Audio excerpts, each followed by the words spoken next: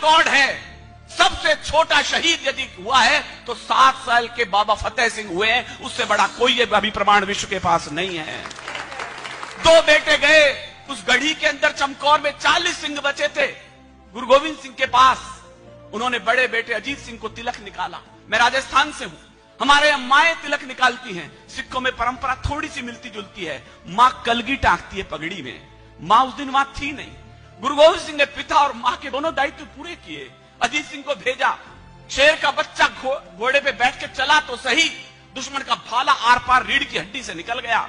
बात बलिदान की नहीं है जो अगली बात पर आपकी ताली उठे रोकेगा मत। शेर का बच्चा घोड़े से तब गिरा जब चालीस मुगलों के सिर काट दिए उसके बाद बलिदान हुआ। देश धर्म के वास्ते वार दिए तो चार। अरे चार मरे तो क्या हुआ? ये जीवित कई हज़ार। चार मरे तो क्या हुआ? ये जीवित कई हज़ार। चार मरे तो क्या हुआ? ये जीवित कई हज़ार। ये कौम शीश देकर जन्मी ये कौम शीश की दानी है। मैं शुरू हो चुका हूँ। ये कौम शीश की दानी है। ये अमृत चक्कर बड़ी हुई ये कौम बड़ी अभिमानी है।